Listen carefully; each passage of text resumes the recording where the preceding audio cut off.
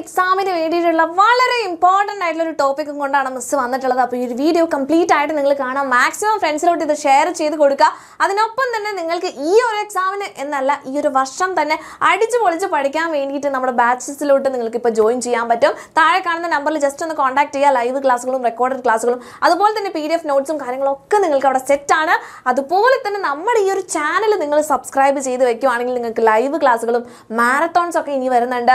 അതുപോലെ തന്നെ നമ്മുടെ വീഡിയോസും കുറേ യൂസ്ഫുൾ ആയിട്ടുള്ള വീഡിയോസ് ഒക്കെ വരുന്നുണ്ട്. അപ്പോൾ ചാനൽ ഇപ്പോൾ തന്നെ സബ്സ്ക്രൈബ് ചെയ്ത് വെക്കാം. ഓക്കെ മക്കളെ അപ്പോൾ ഇംഗ്ലീഷ് എക്സാമിന് എന്റെ കുട്ടികൾക്ക് ഉറപ്പായിട്ടും വരുന്ന ഒരു ക്വസ്റ്റ്യൻ ആണ് നമ്മുടെ ഗ്രാമറിൽ നിന്ന് വരുന്ന ഒരു ഭാഗമാണ് ഇഫ് ക്ലോസ് എന്ന് പറയുന്നത്. ഇഫ് ക്ലോസ് എന്താണ്? എങ്ങനെയാണ് മനസ്സിലാക്കുക?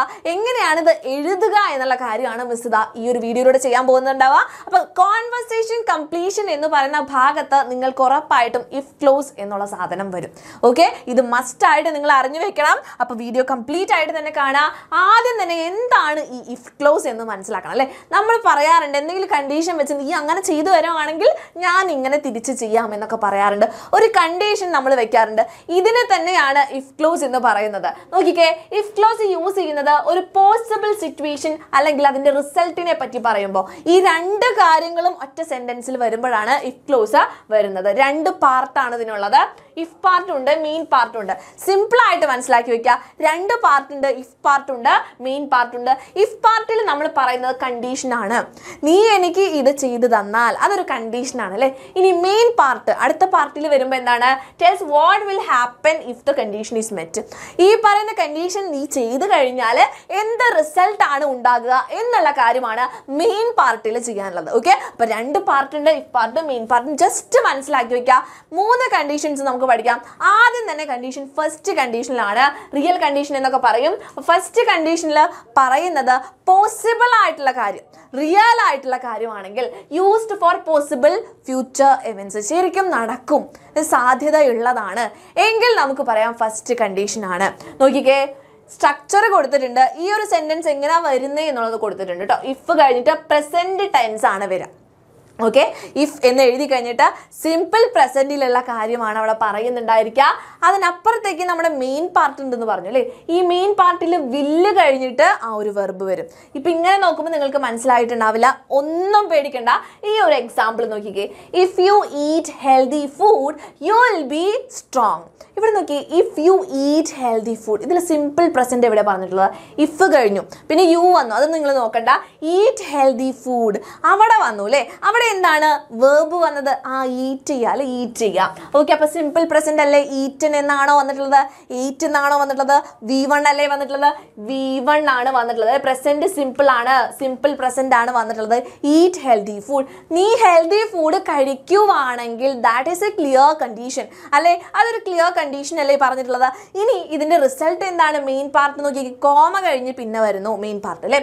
യു വിൽ ബി സ്ട്രോങ് അപ്പൊ നോക്കി ഇവിടെ വില്ല് വന്നു അല്ലേ? അതുപോലെ തന്നെ നോക്കിക്കേ. യു കഴിഞ്ഞിട്ട് വില്ലിട്ടു വിൽ ബി സ്ട്രോങ് വെർബ് നോക്കിക്കേ. വി വൺ വി വൺ തന്നെയാണ് വരവ്. യു വിൽ ബി സ്ട്രോങ് അപ്പോൾ ബി എന്ന് പറയുന്ന ഒരു ഫോമാണ് അവിടെ വന്നത്. വി വൺ ഫോം ആണ് വരുന്നത്. മനസ്സിലായോ നിങ്ങൾക്ക്? വോസ് ആണോ വന്നത്? അല്ല. ബി ആണ് വന്നത്. ക്ലിയർ ആയോ? ഇത്രയേ ഉള്ളൂ. ഇനി ഒരു എക്സാമ്പിളും കൂടെ നോക്കിക്കഴിഞ്ഞാൽ നിങ്ങൾക്ക് പക്കയായിട്ട് മനസ്സിലാവും. ഇഫ് ഐ സ്റ്റഡി ഞാൻ പഠിച്ചാൽ ഇവിടെ ഇതെന്താണ്? വി വൺ ആണ്. അല്ലേ? സിമ്പിൾ പ്രസന്റ് ആണ്. ഇഫ് ഐ സ്റ്റഡി ഓക്കെ ഇനി കോമ കഴിഞ്ഞു. മെയിൻ പാർട്ട് വരികയാണ്. വില്ല് പ്ലസ് എന്താണ് നമ്മൾ പറഞ്ഞത്? Will plus V one will plus V one വന്നില്ലേ? നോക്കിക്കേ. Will I will pass the exam ഞാൻ എക്സാമിന് പാസ്സാവും അതൊരു റിയൽ കണ്ടീഷനാണ് അല്ലേ? നമ്മളിങ്ങനെ ചെയ്താൽ അങ്ങനെ സംഭവിക്കും എന്ന് മനസ്സിലാക്കി വെക്കുക. അപ്പോൾ ഫസ്റ്റ് തന്നെ ശ്രദ്ധിക്കേണ്ടത് ഒന്നാമത്തെ കണ്ടീഷൻ എന്താണ്? സിമ്പിൾ പ്രസന്റ് സിമ്പിൾ പ്രസന്റ് വന്നു. എങ്കിൽ ഇപ്പറത്ത് എന്ത് വരും? വില്ല് പ്ലസ് വി വൺ വരും. വില്ല് പ്ലസ് സിമ്പിൾ പ്രസന്റ് വരും. മനസ്സിലായോ? വില്ല് പ്ലസ് വി വൺ വന്നു. Will pass the exam clear ആയില്ലേ? ഒന്നാമത്തെ നമുക്ക് കയ്യിൽ കിട്ടിയേ. ഇനി സെക്കൻഡ് വൺ നോക്കിക്കോ. സെക്കൻഡ് കണ്ടീഷൻ എന്താണ്? അൺറിയൽ ആയിട്ടുള്ളതാണ്. അതായത് ഇമാജിനറി സിറ്റുവേഷനും അതുപോലെ തന്നെ നടക്കാൻ ചാൻസ് ഇല്ല. ചാൻസ് ഇല്ല എന്നല്ല അൺലൈക്ലി ഇപ്പം നടന്നിട്ടില്ല എന്തായാലും. അങ്ങനെ ഒരു കാര്യത്തിനാണെങ്കിൽ നമുക്ക് എന്ത് പറയാം? സെക്കൻഡ് കണ്ടീഷൻ ആണെന്ന് പറയാം. സ്ട്രക്ചർ എന്താ വരുന്നത് നേരത്തെ സിമ്പിൾ പ്രസന്റ് ആ വന്നത്. ഇവിടെ എന്താണ്? സിമ്പിൾ പാസ്റ്റ് ആണ് വന്നിട്ടുള്ളത്. സിമ്പിൾ പാസ്റ്റ് ആണ് വന്നത്. അപ്പോൾ അപ്പുറത്ത് മെയിൻ പാർട്ടിൽ എന്തായിരിക്കും? വുഡ് പ്ലസ് വേർബ് വരും. വുഡ് പ്ലസ് വേർബ് വരും. വേർബ് വൺ ട്ടോ. ഇവിടെ എന്താണ്? വി ടു ആണ്. ഓക്കെ യെസ് അപ്പോൾ if I were a bird I would fly high നോക്കിക്കേ ഇഫ് ഐ വേർ കണ്ടോ? ഈ വേർ വന്ന് എന്താണ്? ആ സിമ്പിൾ പാസ്റ്റ് ആണ്. സിമ്പിൾ പാസ്റ്റ് ആണ് വേർ അല്ലേ ആറാണോ ആറ് എന്ന് പറയുന്നത് എന്താണ്? സിമ്പിൾ ആണ് അല്ലെ സിമ്പിൾ പ്രസന്റ് ആണ് ആറ് അതിന്റെ പാസ്റ്റ് ആണ് വേർ ഓക്കെ സിമ്പിൾ പ്രസന്റിൽ ആറാണ് വരിക. സിമ്പിൾ പാസ്റ്റിൽ വേർ ആണ് വരിക. അപ്പോൾ ഇവിടെ എന്താണ് വന്നിട്ടുള്ളത്? സിമ്പിൾ പാസ്റ്റ് ആണ്. ക്ലിയർ ആണ്? ഇനി ഇപ്പുറത്ത് എന്ത് ചേർക്കണം നമ്മൾ ആ ഇവിടെ പാസ്റ്റ് വന്നാൽ ഇവിടെ നേരെ ഒന്നും ആലോചിക്കാനില്ല. വില്ലിന് പകരം നേരത്തെ നമ്മൾ വില്ല വെച്ചത്. ഇവിടെ എന്ത് വെക്കണം? വുഡ് വെക്കണം. വുഡിന്റെ കൂടെ എന്ത് വെച്ചു? ആ ഫ്ലൈ എന്ന് പറയുന്നത് വി വൺ ആണ്. വി വൺ ആണ് അല്ലേ? അപ്പൊ വുഡ് പ്ലസ് വി വൺ ചേർത്തു. കിട്ടിയോ നമുക്ക്?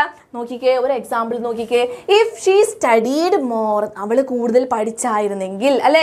അപ്പൊ ഇവിടെ എന്താണ്? വി ടു അല്ലേ വന്നിട്ടുള്ളത്? സ്റ്റഡീഡ് അല്ലെ? പാസ്റ്റ് ടെൻസ് അല്ലേ വന്നിട്ടുള്ളത്?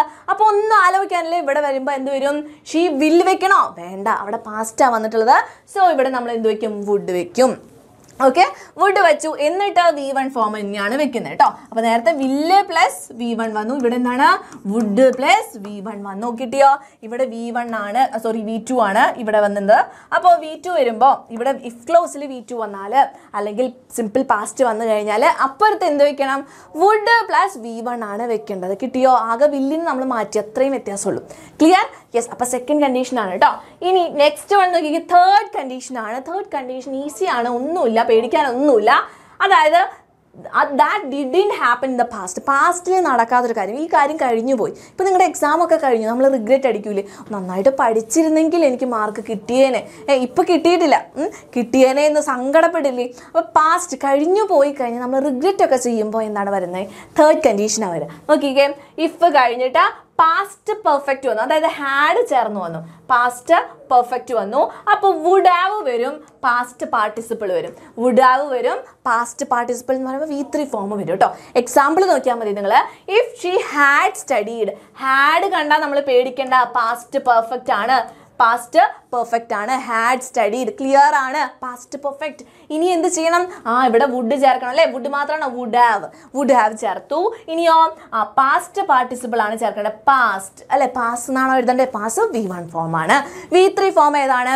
പാസ്ഡ് എന്നുള്ളതാണ്. അപ്പോൾ എന്ത് വരും? If she had studied she would have pass the test അവൾ നന്നായിട്ട് പഠിച്ചിരുന്നെങ്കിൽ അവൾ എക്സാം പാസ്സായേനെ എന്നാ പറയുന്നത് ഒരു എക്സാമ്പിൾ നോക്കിക്കേ.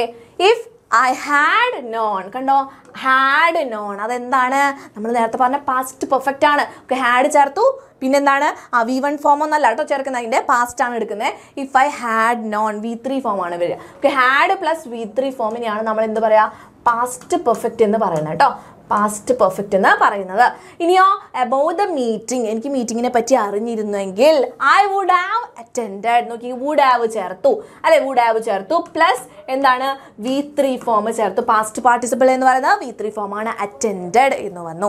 ക്ലിയർ ആയോ? എനിക്ക് മീറ്റിങ്ങിനെ പറ്റി അറിഞ്ഞിരുന്നെങ്കിൽ ഞാൻ മീറ്റിംഗ് അറ്റൻഡ് ചെയ്തേനെ എന്നാണ് മീനിങ് ക്ലിയർ ആയിട്ടുണ്ടാവും എന്ന് വിചാരിക്കുന്നു. മൂന്ന് കണ്ടീഷൻസ് ഉറപ്പായിട്ട് എന്റെ കുട്ടികൾ പഠിച്ചു വയ്ക്കുക എക്സാമിന് കോൺവെർസേഷൻ കംപ്ലീഷനിലൊക്കെ വരാൻ ചാൻസ് ഉള്ളതാണ്. ഇത്ര ആലോചിച്ചാൽ മതി. ഫസ്റ്റ് കണ്ടീഷൻ നിങ്ങൾ ഈ കണ്ടീഷൻ കണ്ടീഷൻ എന്ന് പറഞ്ഞ് പേടിക്കേണ്ട ആവശ്യമില്ല.